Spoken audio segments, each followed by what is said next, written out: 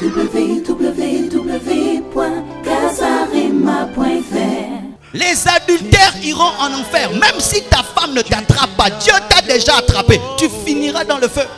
Comment vous vivez dans l'adultère tout en étant des couples chrétiens? Comment tu trompes ta femme? Tu quittes ta maison, tu lui dis au revoir, tu vas là-bas, tu ôtes tes vêtements et puis tu rentres.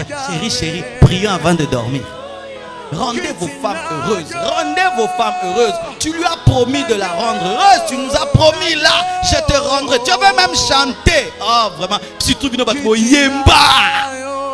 Voir plus de vidéos chrétiens en exclusivité, tapez www.casarema.fr. Nous acclamons le Seigneur.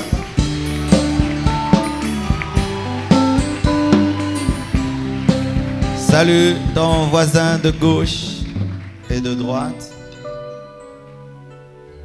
Dis-lui, je déclare la restauration de ta famille au nom de Jésus.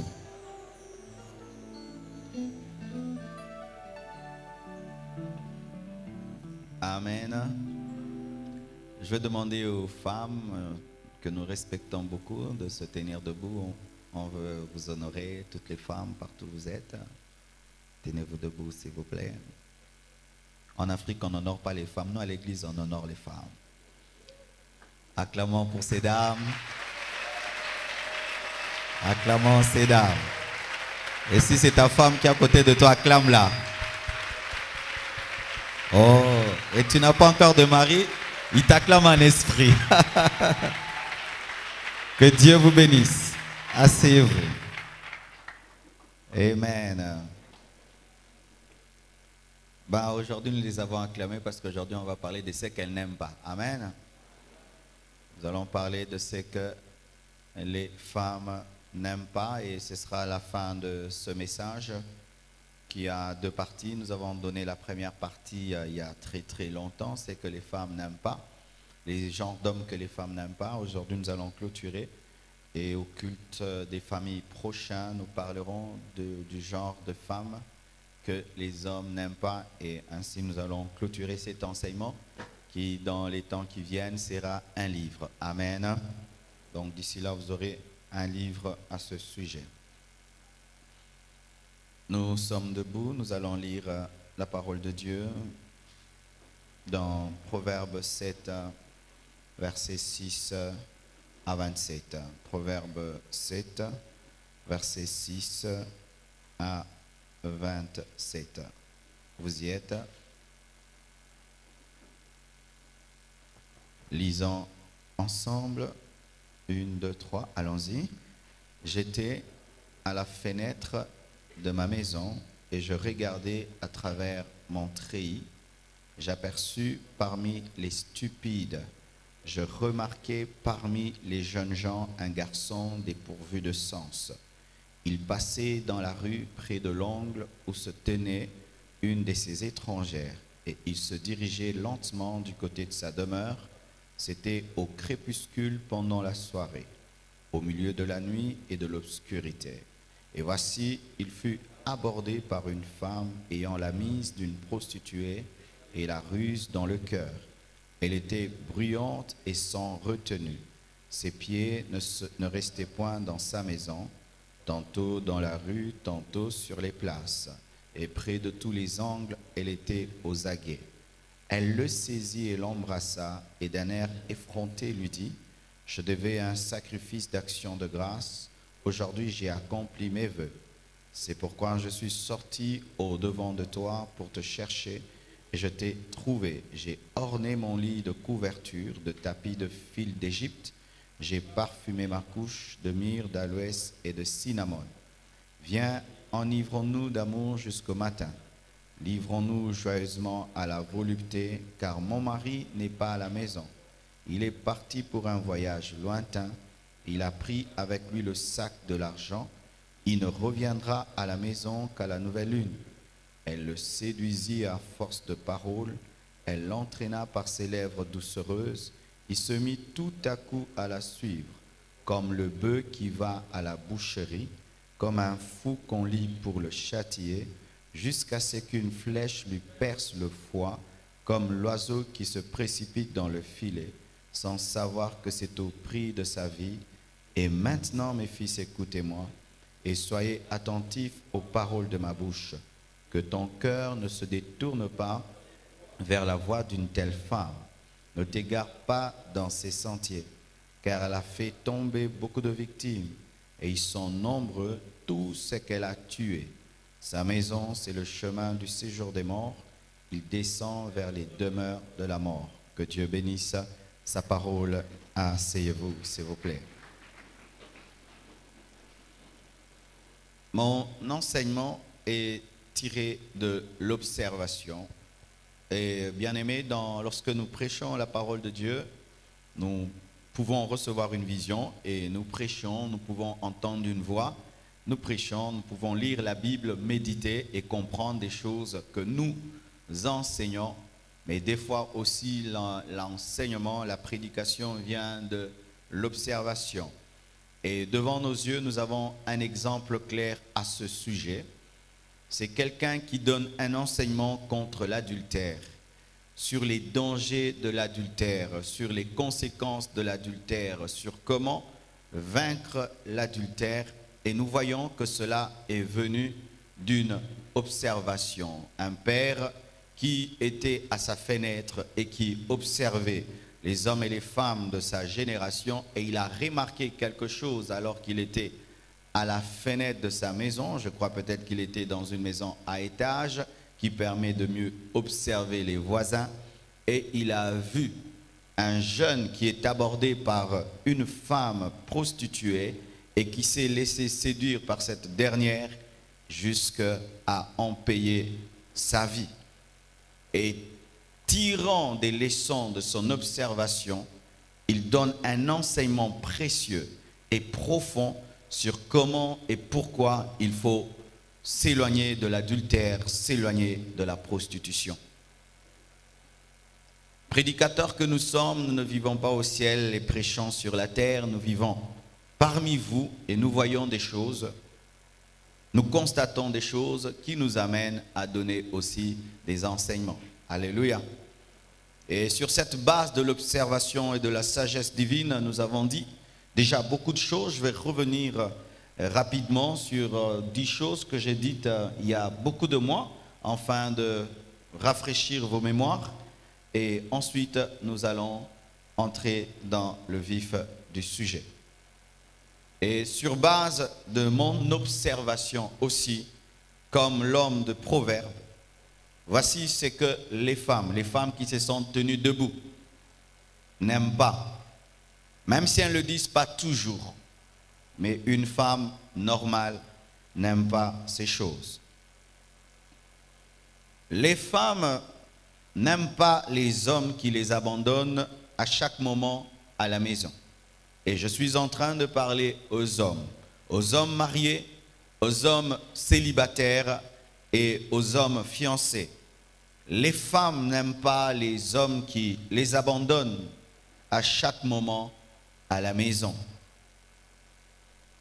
Les femmes n'aiment pas les hommes qui les frappent et surtout publiquement. Les femmes n'aiment pas les hommes sans personnalité, sans décision, sans autorité qui se laissent dicter par l'extérieur, qui ont peur d'affronter les problèmes. Les femmes n'aiment pas de tels hommes. Les femmes n'aiment pas les hommes qui ont l'habitude de sortir seuls très tard et de rentrer seuls très tard.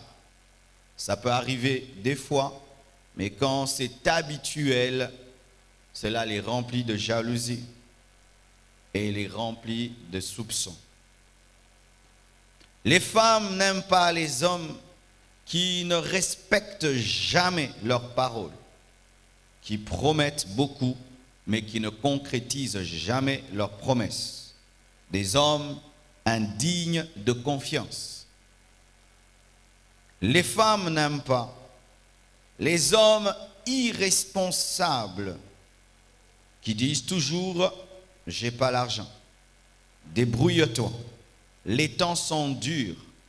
comme s'ils s'étaient mariés seulement pour avoir des enfants et pas pour assumer leurs responsabilités. Les femmes n'aiment pas les hommes qui ne leur offrent rien, ni à elles, ni aux enfants, mais seulement à leurs amis, à leur famille, des hommes qui ne dépensent que pour leurs propres besoins, pour leurs besoins égoïstes. Les femmes n'aiment pas les hommes qui les reprennent publiquement, qui révèlent leurs failles publiquement, qui les insultent et qui vont même insulter leurs parents.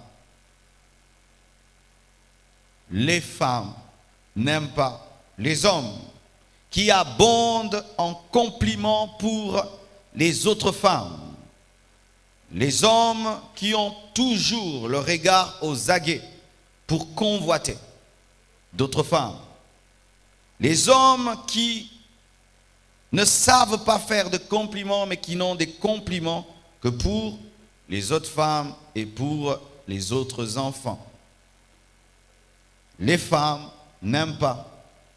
Les hommes qui sont toujours fatigués, toujours malades, pour ne pas répondre à leurs obligations financières et sexuelles. Les femmes n'aiment pas de tels hommes. Les femmes n'aiment pas les hommes qui ne font pas tout leur possible pour réussir dans la vie. Les femmes n'aiment pas les hommes qui accusent les autres d'être la cause de leur échec, qui accusent les temps et les circonstances au lieu de se battre dans la vie. Les femmes n'aiment pas les hommes qui s'occupent des petits détails comme des femmes, des hommes qui s'occupent des petits détails dans le quartier, qui suivent des choses inutiles et banales au lieu de se concentrer sur des choses grandes et essentielles. Les femmes n'aiment pas de tels hommes. Et j'espère que tu n'es pas un tel homme. Car si tu es un tel homme, tu es marié, ta femme vit avec toi malgré elle. Et si tu es fiancé, bientôt elle va te quitter. Des tes mains. Parlons à présent. Les femmes n'aiment pas aussi les hommes qui aiment leur travail, qui aiment leurs enfants et leurs amis, leur famille, leur voiture, leur maison, leur argent plus qu'elles. Les femmes n'aiment pas les hommes qui aiment leur travail plus qu'elles. C'est vrai, ça paraît bizarre. Nous les hommes, on ne comprend pas ça. Mais je te nourris avec ce travail. Mais il faut que je sorte pour que je te nourrisse. C'est vrai. Malgré que ce travail te permet de tout lui offrir, lorsque tu aimes ton travail plus que elle, elle aura un problème avec toi. C'est ainsi que lorsque les hommes nous ramenons le boulot, même à la maison, même si c'est un boulot qui va faire que tu payes la maison, que tu lui offres tout, elle n'est pas contente. Pourquoi? Parce que ben, elle n'a pas épousé un travail, elle a épousé un homme. Et certains hommes ne comprennent pas cela. Qu'il y a un temps pour travailler, un temps pour t'occuper ta femme. Mais si tout le temps c'est le boulot, le boulot et le boulot, la Bible dit il y a un temps pour tout. Un temps pour tout. Et les hommes modernes sont en train de détruire leur foyer par le travail. Par le travail. Il y a un tel stress au niveau du boulot une telle pression, une telle compétition qu'il faut tout le temps être fort, tout le temps donner son temps, qu'on oublie l'essentiel, la femme qu'on a épousée. Et tu peux devenir un grand PDG. Si tu as échoué dans ton couple, tu as tout échoué. Cher monsieur, Lorsque tu vas gagner l'argent, n'oublie pas que tu dois revenir et te réjouir avec une femme.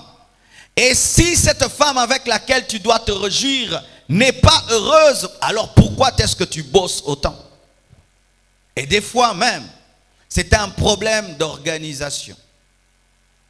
Je me souviens lorsque j'ai commencé à beaucoup travailler sur Internet, à envoyer des vidéos, écrire et tout le reste, je pouvais être sur le net. Tu écris le matin, tu écris le soir, tu écris, tu écris, tu écris. Et puis Dieu m'a dit non, tu dois t'organiser. Le matin, tu places des vidéos et tu écris. Et le soir, tu vérifies, point bas. Mais tu ne peux pas être tout le temps là. Pourquoi? Parce que le fait d'être tout le temps concentré dans ton iPad, ton téléphone, ton ordinateur, peut t'amener à oublier ta femme. Et lorsque même vous travaillez et que vous prenez vos ordinateurs, vous les ramenez à la maison, sachez que ce n'est plus le moment du boulot. Là, tu es en train de ronger le temps que tu devais donner à ta femme. C'est ainsi qu'un homme peut commencer à échouer dans son travail lorsque la femme qui est à côté de lui est en train de pleurer et Dieu maudit ton travail pour que tu aies le temps pour ta femme. Ah oui. Une femme qui pleure dans la maison est une malédiction. Et si ton travail fait pleurer ta femme, lorsque tu vas travailler, sa bénédiction n'est pas sur toi et tu te bats seul alors que tu n'es plus seul, tu as une femme. Travaille, mais n'oublie pas que tu t'es marié. Cherche l'argent, mais n'oublie pas que tu t'es marié. Et aujourd'hui, je vois des gens qui font des contrats de travail sans tenir compte qu'ils sont mariés. Ils acceptent tout pour avoir l'argent, mais ils oublient qu'ils se sont mariés. Mais quand vous allez gagner tout cet argent et vous n'avez pas eu le temps pour vos femmes et pour vos enfants, mais bien aimé, vous aurez une femme qui est tombée dans l'adultère parce que tout le temps tu es sorti et des enfants qui sont mal polis parce que tu ne cherches que l'argent. Et les hommes font six mois de boulot ne touchant pas leurs femmes, mais veulent que leurs femmes soient disciplinées, soumises et fidèles. Mais si ta femme te faisait ce que tu lui fais, et qu'elle est tout le temps dans le boulot pendant six mois, elle n'a pas le temps pour toi, tu vas lui dire, chérie, tu veux que je tombe, tu veux me faire tomber. Mais toi, si tu veux la faire tomber, elle a un corps, elle a du sang comme toi. Comment se fait-il que même aujourd'hui en Afrique, nous commençons à avoir beaucoup de cas d'adultère? Quelque chose qui était très rare, très rare en Afrique. Mais aujourd'hui, nous avons des cas d'adultère comme en Europe. Pourquoi? Parce que les Africains, maintenant, vous vous comportez aussi comme des Européens. Qu'est-ce qui a amené l'adultère en Europe? Le boulot, le boulot, le boulot, le boulot, le boulot, le boulot, le boulot. Et la femme est là, un mois, deux mois, dix mois, boulot, boulot, cadeau, boulot, boulot, salaire, boulot, boulot, boulot. Mais, mais la femme, c'est une personne. Cette soif du succès qui est en train de remplir les cœurs est en train aussi de détruire les couples. C'est pourquoi apprenez à agencer votre programme. Aie le temps pour ta famille. Aie le temps pour ta femme.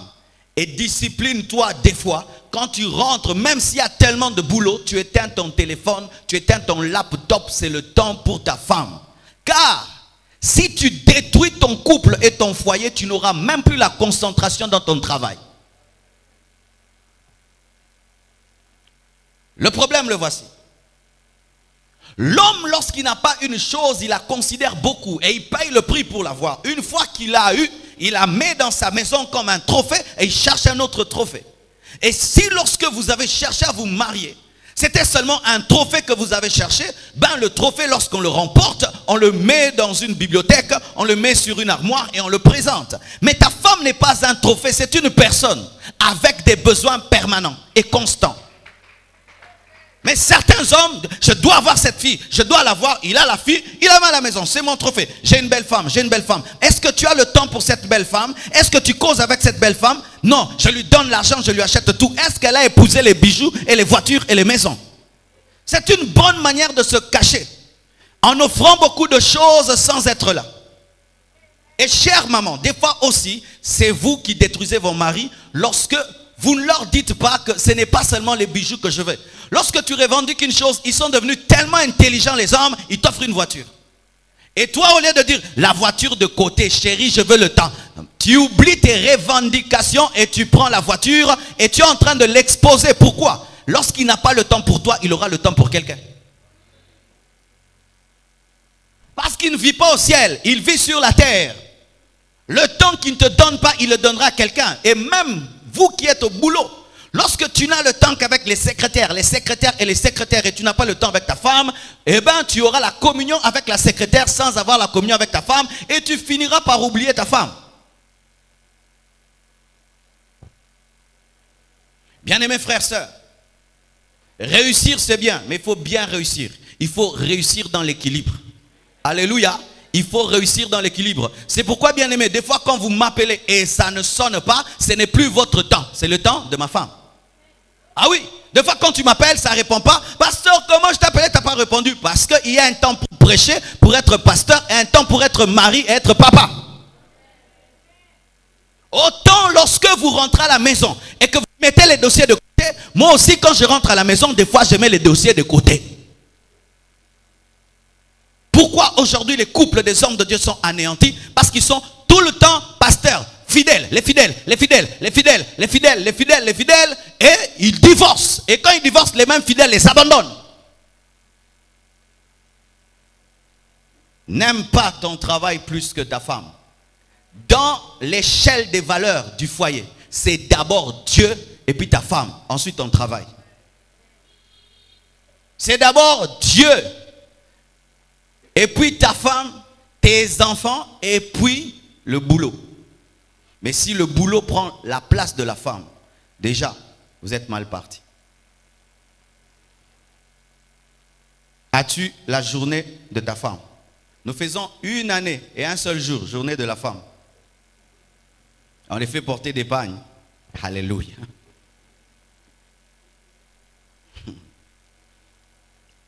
Maman, tu as le droit de revendiquer ton temps. Alléluia. Ah oui, d'aller dire à ce monsieur qui bosse comme un fou, eh ben merci de bosser comme un fou, c'est bien, tu payes la maison, tu fais ceci, mais moi, moi, mon temps, où est-il? Et si tu es fiancé, déjà en étant fiancé, ton fiancé n'a pas le temps pour toi. Il n'en aura jamais pour toi quand va t'épouser. Parce que s'il y a un temps où les hommes sont trop disposés, c'est dans les fiançailles. Il peut même être chez vous du matin au soir. Mais s'il n'a pas le temps, lorsqu'il doit avoir le temps, ah ma soeur, ne l'épouse pas. Il n'aura jamais le temps.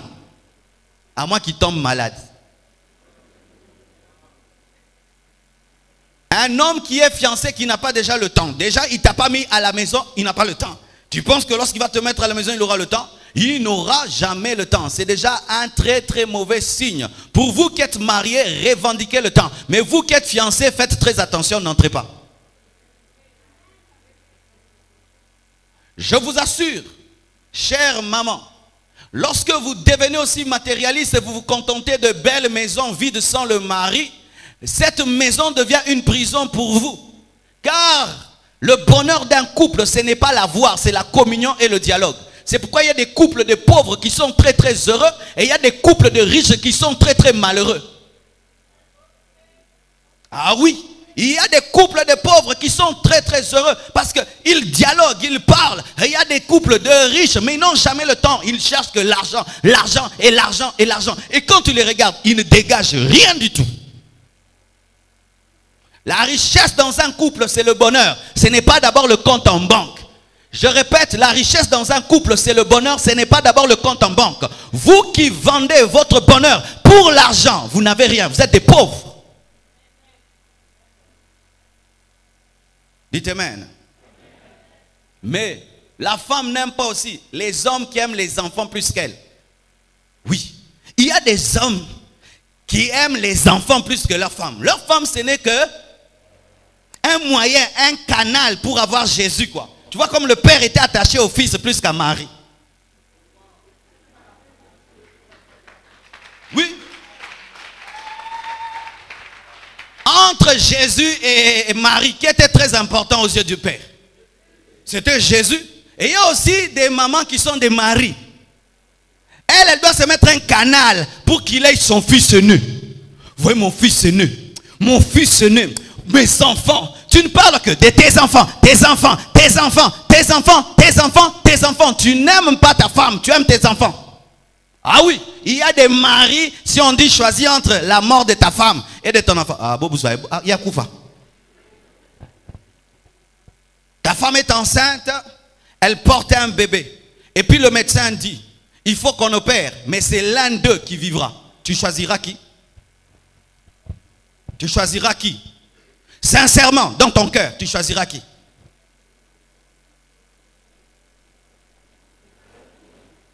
Je ne veux pas détruire vos couples. Hein. Tu diras que ma femme vive ou non, elle, elle peut partir. Moi, je cherche un enfant. Je n'ai pas un enfant, je n'ai pas un enfant. Moi, je cherchais un garçon, je n'ai que des filles. Ah, c'est un garçon. Que Dieu me pardonne. Mais un homme censé dira, j'ai épousé la femme, je n'ai pas épousé l'enfant. Que sauver ma femme, j'aurai d'autres enfants. Mais je n'aurai pas une autre femme.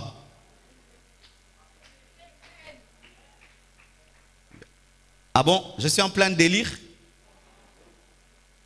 C'est pourquoi on ne divorce jamais parce qu'une femme n'a pas d'enfant. Et on ne se marie pas pour avoir les enfants. Ah oui, cher Congolais, on ne se marie pas pour avoir les enfants, on se marie parce qu'on aime quelqu'un.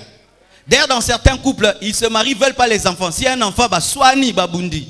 Pas ni nos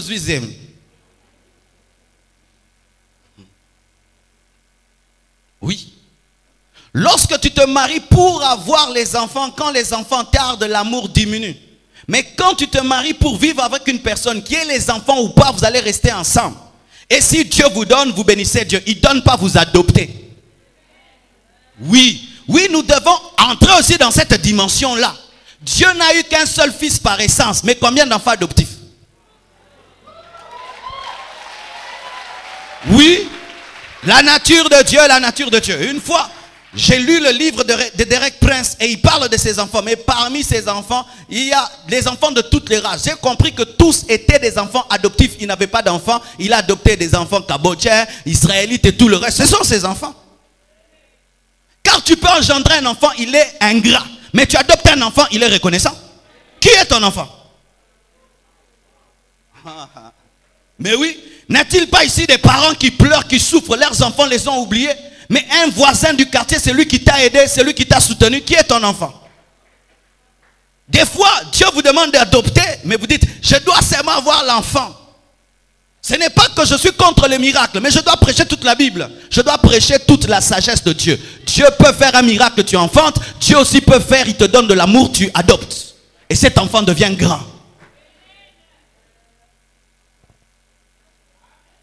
Vous me comprendrez dans dix ans.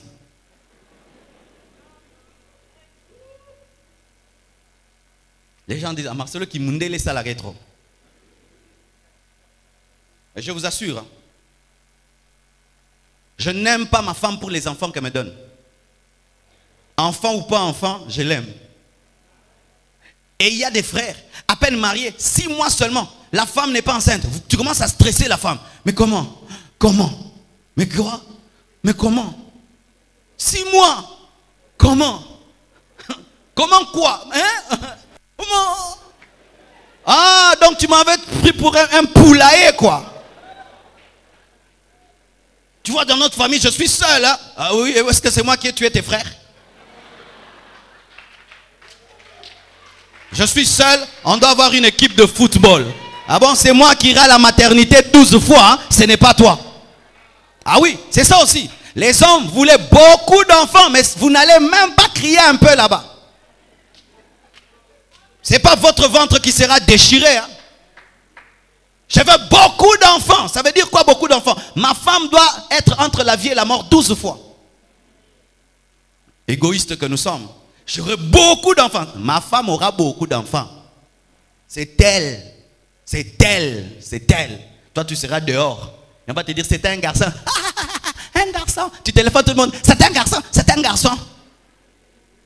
Mais celle qui vient d'accoucher, elle est fatiguée. Mais toi, c'est un garçon, c'est un garçon. Et puis, félicitations, félicitations, félicitations.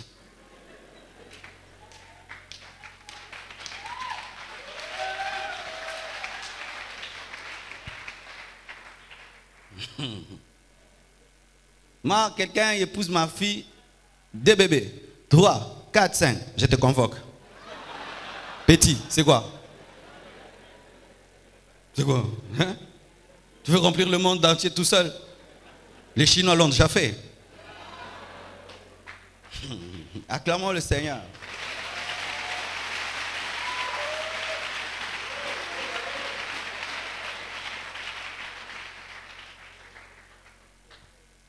Et ça devient pire lorsque l'homme aime sa fille plus que sa femme. Il y a certains hommes qui aiment leur fille plus que leur femme. C'est sa fille qui le sert la nourriture. C'est sa fille qui a la clé du congélateur. C'est sa fille avec qui il va partout. Et si sa fille est belle et grande, tu as l'esprit de l'inceste caché, papa. Tu as un esprit d'inceste et tu aimes toujours discuter pour qu'on n'épouse pas ta fille pour qu'elle reste esprit d'inceste. Et tu crées un problème dans la maison. La mère devient jalouse de sa fille.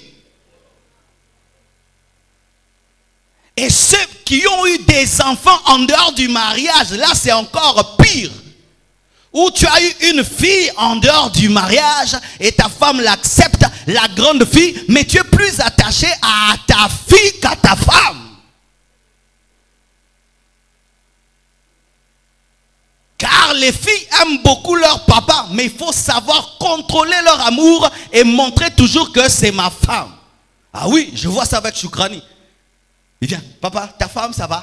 Je dis, ma femme. Oui, et toi et ta femme là, ah oui, tu sens une jalousie et une jalousie. Si elle me voit avec euh, sa maman, je lui fais des câlins, elle est mal à l'aise. Mais vous faites quoi là? J'ai dit, euh, quoi? C'est ma femme. Ah, toi et ta femme. Pourquoi il dit ça? La jalousie. Et maintenant, si tu ne contrôles pas l'amour de la fille, parce qu'une fille peut avoir comme idéal son père. Je vais épouser un homme comme papa. Et elle aime beaucoup son père et elle, met, elle crée elle prend tellement de place. Et si tu ne sais pas contrôler ça, tu crées un problème. Et tu vois maintenant la mère commence à maltraiter la fille. Commence à maltraiter sa fille. Dans la maison. Lorsque ton père, ma soeur, commence à te donner la place de ta mère, refuse. N'en profite pas pour avoir de l'argent, des cadeaux et des vêtements. Tu es en train de détruire le foyer de ta mère. Est-ce que tu aimerais que, ta fille te fasse cela? Oui, car des fois, il y a des filles qui en profitent.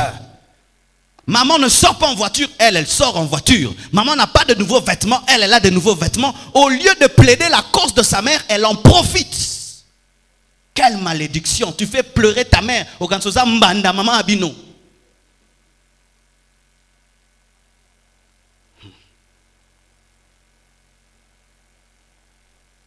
Les femmes n'aiment pas les hommes qui aiment leurs biens, leur voiture, leur maison, plus que Dieu.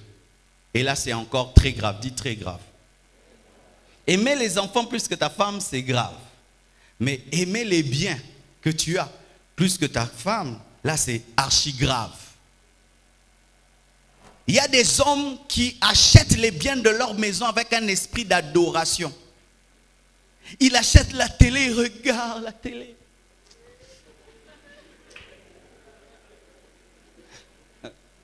Sinon, surtout s'il a souffert dans la vie et qu'il a vécu dans la pauvreté et qu'il a marché à pied des années, des années. Dieu lui donne une voiture, il peut être dedans, il fait rien, il roule pas quoi, il est dedans.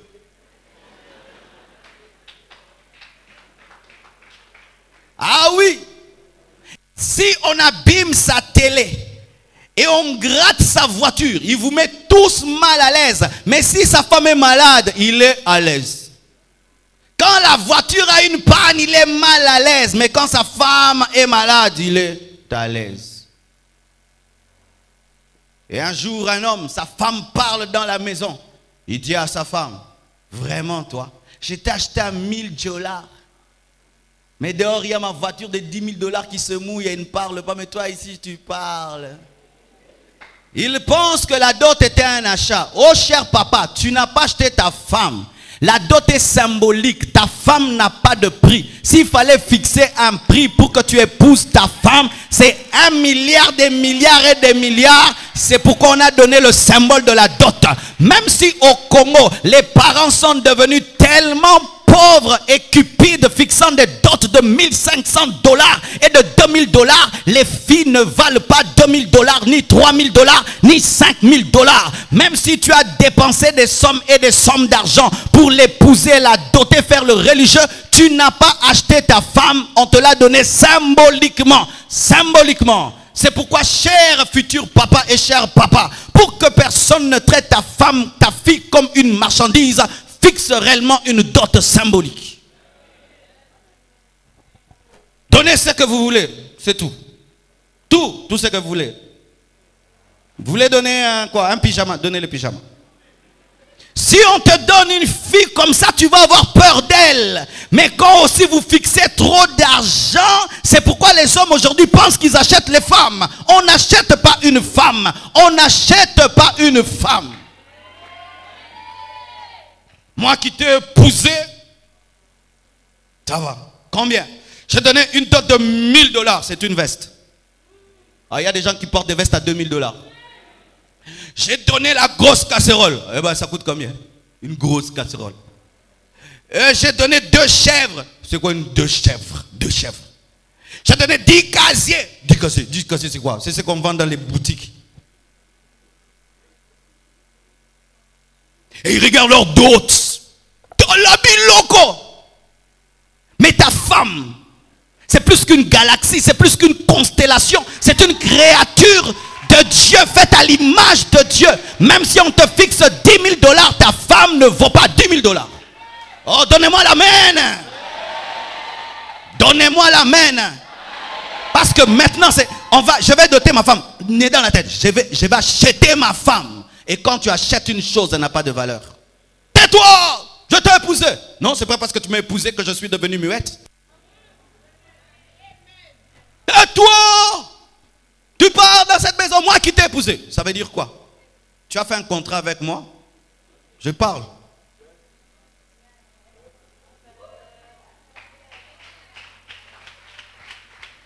Quand tu payes la dot, en soi, tu donnes quelque chose de symbolique.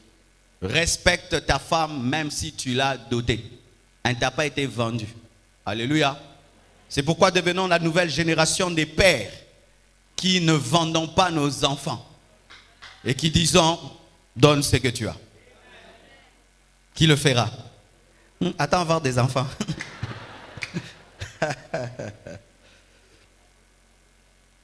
les femmes n'aiment pas les hommes qui se plaignent toujours, qui ne sont jamais contents. Tout est, toujours mal fait, qui ne savent jamais dire merci. Au contraire, vantent les qualités d'autres femmes.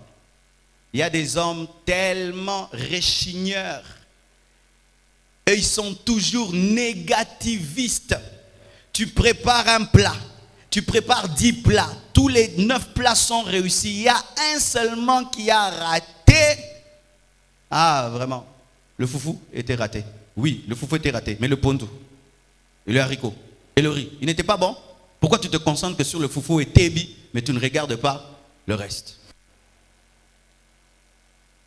La salon, le salon peut être bien fait. Tout est bien fait. Si la salle de bain est mal faite, tu oublies que le salon est bien fait, que tout le reste est bien fait. Tu te concentres que sur ce qui ne va pas. Et je t'assure, c'est stressant pour une femme d'avoir un préfet de discipline toujours derrière elle. C'est stressant. Ça, tu n'as pas fait. Ça, tu n'as pas fait. Ça, tu n'as pas fait. Ça, tu n'as pas fait. Ça, tu n'as pas fait. Et puis elle va te dire, fais alors. Les mauvaises réponses que tu as, c'est en soi toi qui les sèmes parce que tu es trop exigeant. Bien aimés, chers hommes, arrêtons de trop stresser nos femmes. Arrêtons de trop stresser les femmes. Parce que mets-toi à sa place pendant un mois, qu'elle te donne seulement sa vie. Elle, qu'elle aille au boulot, toi tu restes avec les enfants.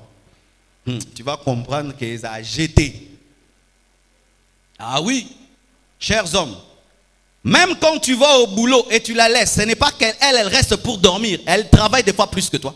C'est pourquoi en Europe, pour avoir une bonne, c'est difficile. Pourquoi? C'est un grand travail. Tu es au boulot de 8h à 16h, assis sur une chaise, tapant l'ordinateur, causant au téléphone, et après tu entres dans la voiture et entre les... Il y a une pause, tu prends un hamburger, tu prends un café, et puis tu rentres. Hum, vrai. Mais elle, quand tu pars, elle lave l'enfant, elle suit l'enfant, ne fais pas, arrête-toi, elle balaye, elle torchonne, elle suit le travailleur, elle suit cela, elle prépare, elle se brûle, qui rentre sans transpirer, monsieur, et qui tu trouves fatigué? La femme. Mais quand tu arrives, il faut qu'elle t'enlève la veste, l'eau chaude. Et puis aussi, si tu vas adorer, tu adores.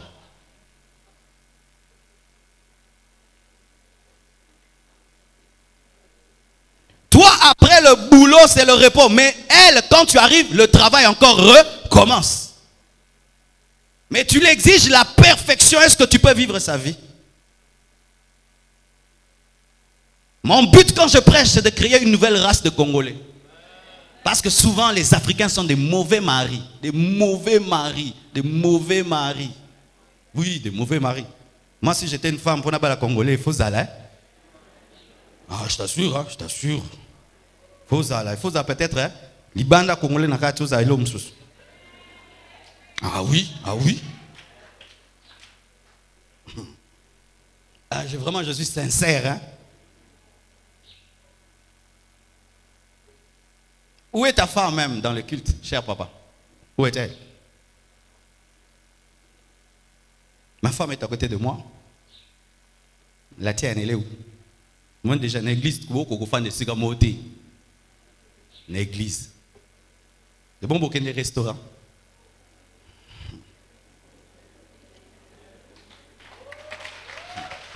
Ah oui. Ça me fait rire des fois quand je vais dans les fêtes des Congolais. C'est pourquoi j'aime plus aller dans les fêtes des Congolais. Je connais déjà tout ce qui va se faire et je, n'aime pas voir des mauvaises choses. Qu'est-ce qui se passe dans les fêtes des Congolais? C'est là où même tu perds même le goût du mariage. C'est-à-dire, tu vois des couples assis l'un face à l'autre, ils n'ont rien à se dire. Dans les fêtes. C'est sa femme, c'est pas sa copine. Et si la boisson tarde de venir, non. Et puis qu'est-ce qu'ils font? Ils commencent à prendre les téléphones.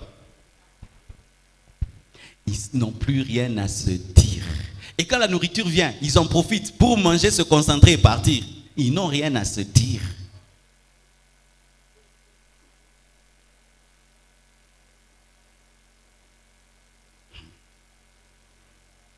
Les femmes, n'aiment pas les hommes qui se plaignent tout le temps, qui ne disent jamais merci, qui ne reconnaissent jamais leurs qualités et qui sont toujours derrière leurs défauts comme si eux étaient parfaits. Les femmes n'aiment pas les hommes qui ne leur apportent que des problèmes, la honte, le déshonneur. Les femmes n'aiment pas des hommes qui amènent la honte. La honte. C'est toujours toi qui as des problèmes.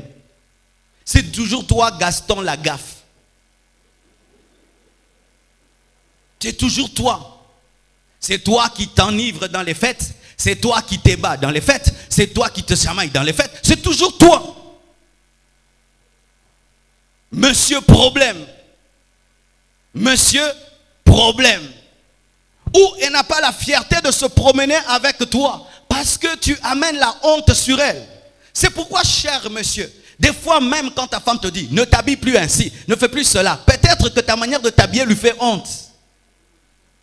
Ta manière de t'habiller lui fait honte. Oh, moi j'aime comme ça. Tu aimes comme ça, mais tu n'es plus seul. Tu as épousé une femme. Tu dois aussi te fixer sur ses goûts. Mais nous voulons souvent que nos femmes s'habillent à notre goût. Est-ce que tu t'habilles au goût de ta femme? Quand je m'étais marié, il y a des trucs que j'étais célibataire, que je portais. Et puis ma femme m'a dit, non, j'aimais des fois porter des chaussures terribles. Hein. Vous me connaissez quand j'étais au début du ministère? Oh, la moko.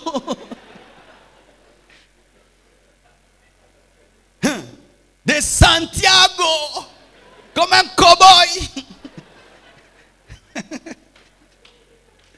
non, que Dieu bénisse Blanche. Je me souviens, je suis allé en Bougimaï et puis j'ai vu une grosse, une botte en croco jaune. Mais si tu la regardes de près, une paire ne ressemblait pas parfaitement à l'autre, mais ça se ressemblait de loin. Mais je les mettre dans la tiango kara. Pourquoi j'aimais ça Et puis il m'a dit, tes chaussures là, ça te fait moins sérieux. Il ne faut pas porter. Je dis, non, non, je vais pas ça va à Santiago. Et des fois, on regarde notre album, on dit, Hum, et dit, Marcelo, vraiment, tu viens de loin. Des fois, j'ai porté des vestes. Vraiment, moi aussi. Comment on appelle les vestes jusqu'ici Hein? Vous savez que moi, je prêchais à Mazantomo, moi. Déjà, le Mazantomo, il faut le porter seulement si tu es grand détail. Maintenant, hein, grâce nous a m'appelé Sanga. Donc, j'ai devenu encore court. Mais personne dans l'église ne me signalait, quoi.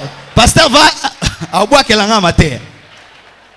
Mais elle m'a dit, Hum, au moins, bah, là, ils hein.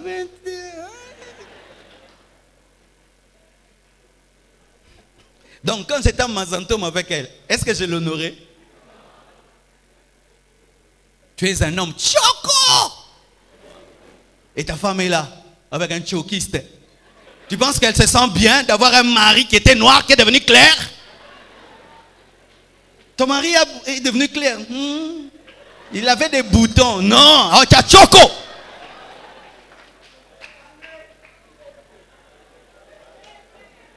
Honore ta femme, qu'elle soit fière de toi, qu'elle soit fière de toi, qu'elle soit fière de toi.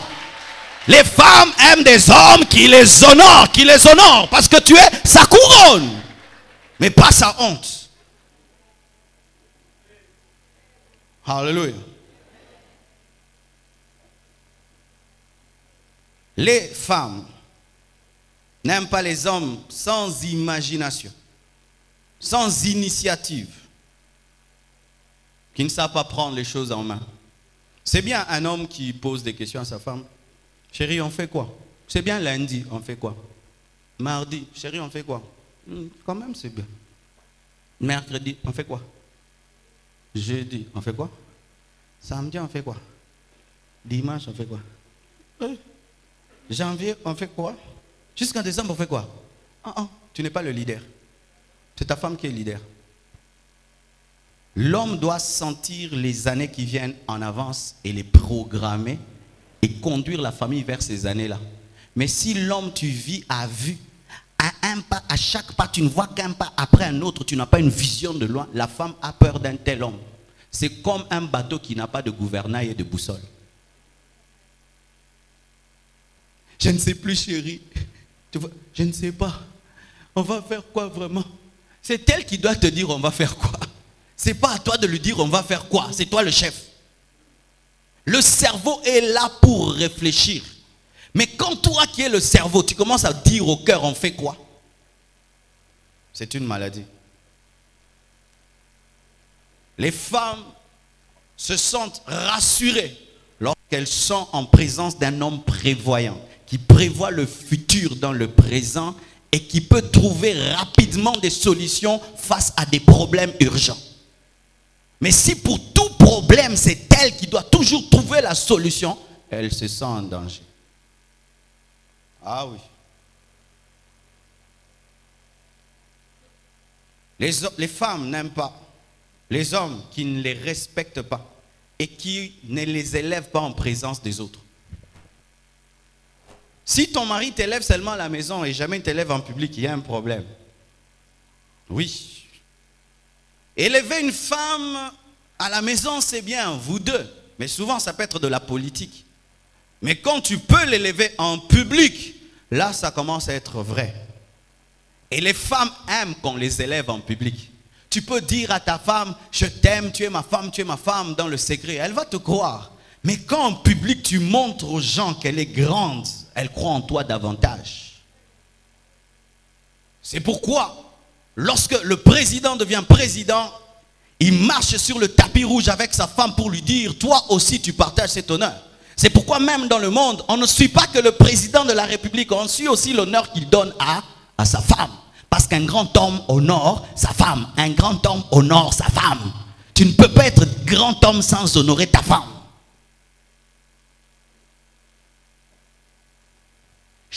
homme, apprenez l'art d'honorer, d'honorer la femme. Et ça commence quand? Déjà quand tu peux honorer tes sœurs. Un homme qui méprise ses sœurs, qui méprise sa mère, va mépriser sa femme et va mépriser son épouse. Ça commence tôt.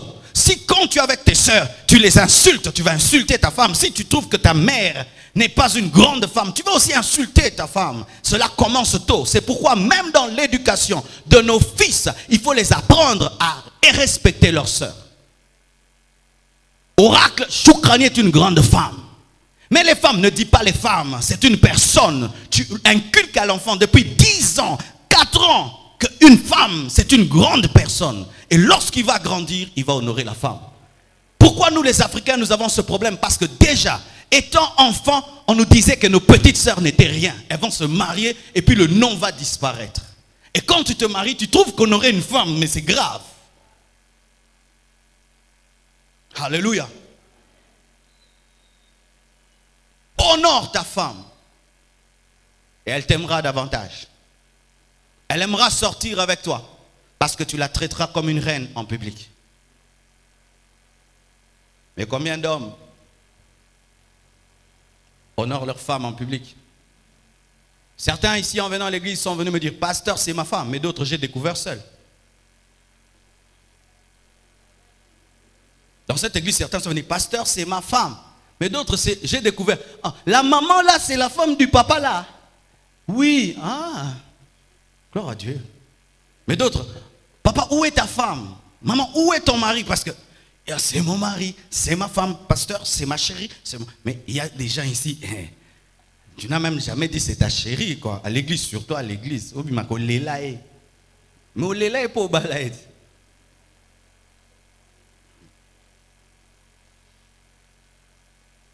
J'aimerais terminer avec ceci, et c'est trop important et je dois vraiment le dire. Les femmes n'aiment pas les hommes sales, malpropres, désordonnés, négligents, dont la bouche sent mauvais, les aisselles sentent mauvais, qui ne changent pas leurs sous-vêtements et leurs chaussettes, qui n'aiment pas brosser les dents et se laver. Je parle et je suis très sérieux, car il y a des femmes qui en souffrent qui le disent jamais. Des fois, quand ta femme t'offre tout le temps les bonbons et les bazookas, c'est pas qu'elle t'aime, ça sent pas bien. Et si tu as un problème de foie, un problème de poumon, un problème de ceci, va te faire soigner. C'est important pour avoir les bisous.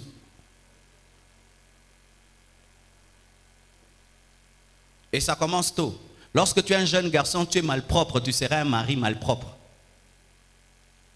La propriété que j'ai, je ne l'ai pas eu parce que je me suis marié. Depuis que je suis enfant, j'aime la propriété, j'aime l'ordre, j'aime les choses à leur place. Depuis que je suis un gosse, je suis ainsi. Ce n'est pas que quand je me suis marié, du coup, j'aime me laver. Maintenant, du coup, il faut déjà travailler ça maintenant. Mais si malgré que tu es marié, tu es malpropre, il faut vraiment que tu puisses changer ça à temps parce que ta femme est malheureuse. C'est comme si elle vit avec un porc. J'ai dit la vérité. Le mal des mauvaises odeurs, c'est que lorsque tu t'en es tellement habitué, tu ne les sens plus. Lorsqu'un homme sent mauvais, il ne se rend plus compte qu'il sent mauvais tellement qu'il est habitué à son haleine et à son odeur. Quand tu portes des chaussettes qui ont fait un mois sans être lavées, tu penses que ça sent bon? Quand tu fais deux jours sans brosser les dents, tu penses que ça sent bon? Quand tu dors avec une femme alors que tu viens de transpirer, tu penses qu'elle sent une bonne odeur parce que tu es son mari chéri? Les femmes aiment des hommes propres. Ce ne sont pas seulement les femmes qui doivent être propres. Même toi, l'homme, tu dois être propre. Parce que tu t'approches d'elle et des fois, tu lui donnes des microbes. Certaines femmes ont des problèmes de microbes. Ce n'est pas elles qui sont sales. Ce sont leurs maris qui sont sales.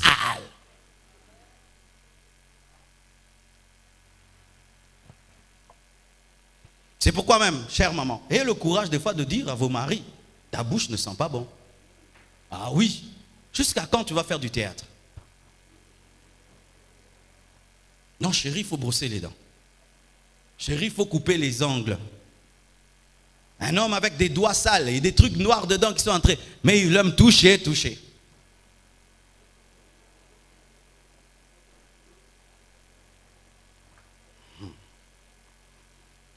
c'est beaucoup, Il vient à la maison, la chaussette à la porte, la ceinture au salon, la veste, couloir, chemise. Donc, tu peux le suivre à la trace, quoi. Tu le. Il est passé où? Non, suis seulement les désordres. Tu vas le voir. Il dort en veste, cravate. Il dort en chaussures. On doit lui enlever les chaussures. Il dort en jean. Un jean sale, il dort. Il se lave, il laisse l'eau partout, tout partout. La femme doit venir ramasser.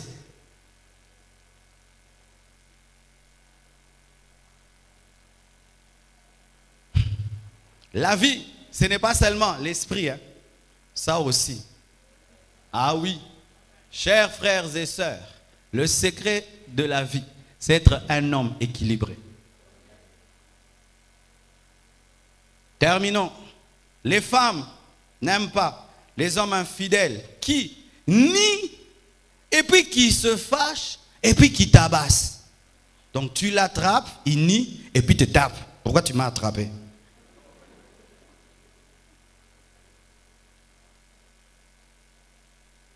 Aujourd'hui, même dans les églises, il y a beaucoup d'hommes adultères beaucoup d'hommes adultères.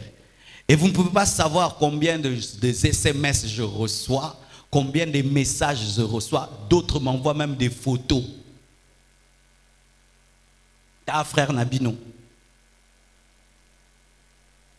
Mais il prie.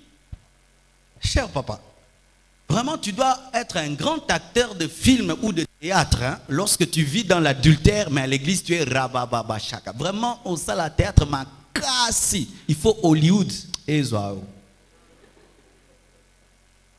Comment vous vivez dans l'adultère tout en étant des couples chrétiens? Comment tu trompes ta femme? Tu quittes ta maison, tu lui dis au revoir, tu vas là-bas, tu ôtes tes vêtements et puis tu rentres, chérie, chérie, prions avant de dormir. L'adultère est dans l'église. L'adultère est dans l'église. L'adultère est dans l'église. Les adultères iront en enfer. Même si ta femme ne t'attrape pas, Dieu t'a déjà attrapé. Tu finiras dans le feu.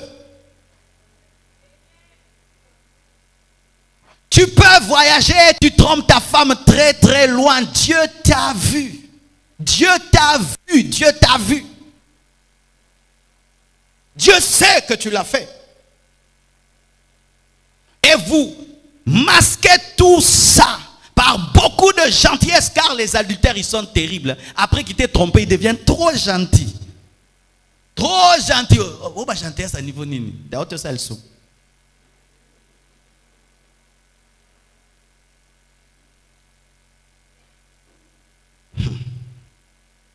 Une femme attrape son mari dans l'adultère. Et avant de s'unir encore à elle, lui demande d'aller faire les examens de VIH. Elle a tort ou elle a raison? Elle a raison. Mais les frères, vous ne voulez pas ça. C'est-à-dire que même si tu as la maladie, comme tu l'as épousée, quand tu as encore besoin d'elle, il faut qu'elle cède, même si elle va mourir, et elle va laisser des orphelins de père et de mère. C'est très égoïste. Oui. Ton mari tombe dans l'adultère, chère maman. Pardonne-lui, mais avant qu'il fasse les examens. Oui, qu'il fasse les examens. Tu lui pardonnes, mais qu'il fasse les examens. Parce que je peux te pardonner, mais je ne m'unis plus à toi si tu as le sida. Il faut qu'on prêche l'évangile selon nos problèmes actuels du monde présent. Parce qu'au temps de Paul, il n'y avait pas le sida. S'il était au temps de, du sida, il allait dire ça. Si un homme tombe dans l'adultère, que sa femme lui pardonne, mais qu'il fasse les... Romains 80, verset combien?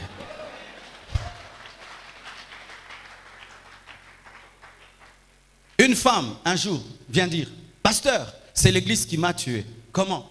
Mon mari est tombé dans l'adultère avec les enseignements d'aujourd'hui. Maman, si papa veut, donne-lui. Si papa, une femme soumise. Moi, j'ai dit, cet homme a la maladie, qu'il fasse les examens d'abord. Non, une femme soumise. Et aujourd'hui, j'ai le sida. L'église m'a tué.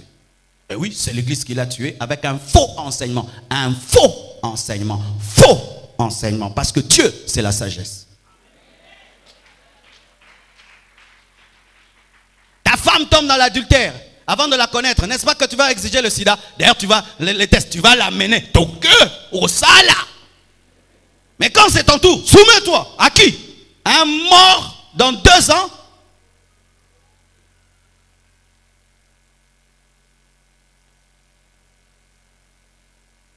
Et pire, tu commets l'adultère et tu veux que ta femme puisse accepter cette vie d'adultère et accepter tes copines, accepter la deuxième femme, changer ses principes, tolérer ça. Tu veux la formater en une femme qui accepte l'adultère. Disant quoi? Nous les hommes, on est comme ça. Non, toi tu es comme ça. Moi je ne suis pas comme ça. Arrête de dire nous, tu nous insultes. Vous savez, un homme, un homme ne se contente jamais d'une femme. Toi, tu ne te contentes pas d'une femme. Moi, je me contente d'une femme. Donnant des raisons, c'est la nature humaine. Ce n'est pas la nature humaine, c'est toi qui adultère. Et oui, car il y a des femmes qui disent, les hommes, non, ton mari est adultère, ce ne sont pas les hommes. Et tu la tapes, tu la bats. Pourquoi? Tu es revenu à 2 heures du matin, elle n'a pas le droit de te poser la question d'où viens-tu? Ah, vraiment, tu es extraordinaire. Ben, qu'elle commence maintenant à vous acclamer. 2 heures du matin, tu reviens. Oh là là, tu as battu ton record hier, c'était 1 heure, 2 heures. Tu es en train de battre le record. Chérie, tu veux quoi? Et demain, ce sera 5 heures du matin? Ah, une bonne femme, très soumise. Elle te tue. Elle est en train de te tuer.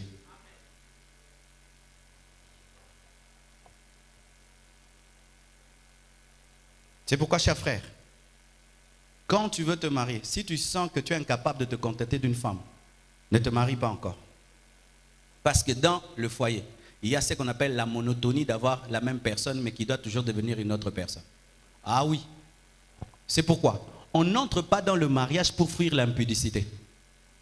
Quand vous vous mariez, parce que je brûle, je brûle, je, brûle. Ah, au lieu de coucher avec beaucoup de femmes, j'épouse une femme pour avoir une seule. Non, si Jésus n'a pas réglé cela, le mariage ne va pas le régler. C'est pourquoi les gens se marient mais sont adultères parce que ce n'est pas Jésus qui les a délivrés. Ils pensent que c'est le mariage qui va les délivrer. Non. D'ailleurs, le mariage peut amplifier cela lorsque tu n'arrives plus à te contenter d'une seule personne. C'est pourquoi je crois, on sait que une certaine dame enseigne dans ce pays que des fois, avant d'être béni, tu dois chercher la délivrance. des fois, elle n'a pas tort. Le mariage. Mais qui veut se marier? Il est impudique. Mais il sera impudique. Il sera adultère.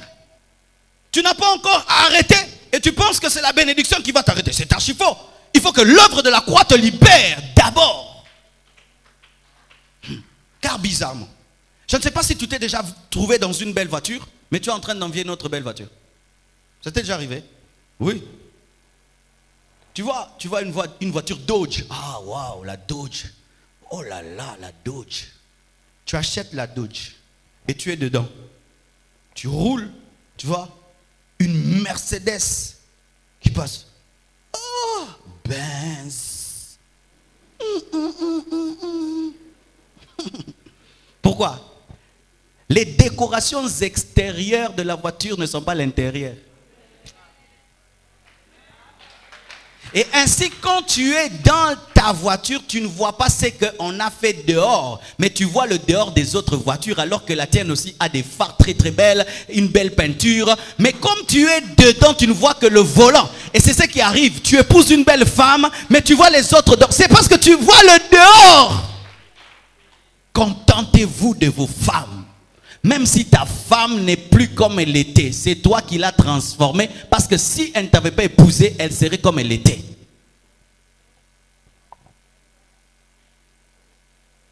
Je sens vraiment un calme masculin ce matin. Bien-aimés frères congolais, si on ne vous enseigne pas ainsi, on ne vous parle pas ainsi, vous allez périr. Vous allez périr. Bénédiction, miracle, tout ça c'est bon. Mais quand vous êtes infidèle dans vos foyers, vous allez finir en enfer, car les adultères n'hériteront point le royaume des cieux.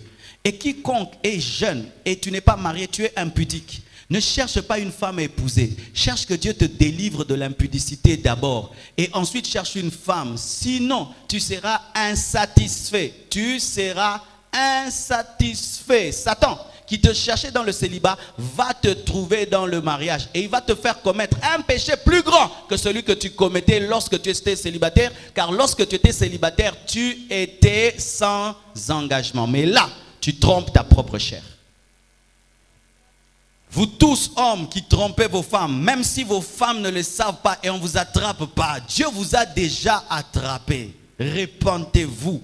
Rendez vos femmes heureuses. Rendez vos femmes heureuses. Tu lui as promis de la rendre heureuse. Tu nous as promis là, je te rendrai. Tu avais même chanté. Oh, vraiment. Je t'aime, je t'aime, je te. Hmm. Mais on a, on a entendu des choses ici. Hein? Chérie, je te promets les étoiles, car tu es mon soleil. Yoka Miloko. Mais dans le foyer, qu'est-ce que tu fais? Que Dieu vous bénisse abondamment.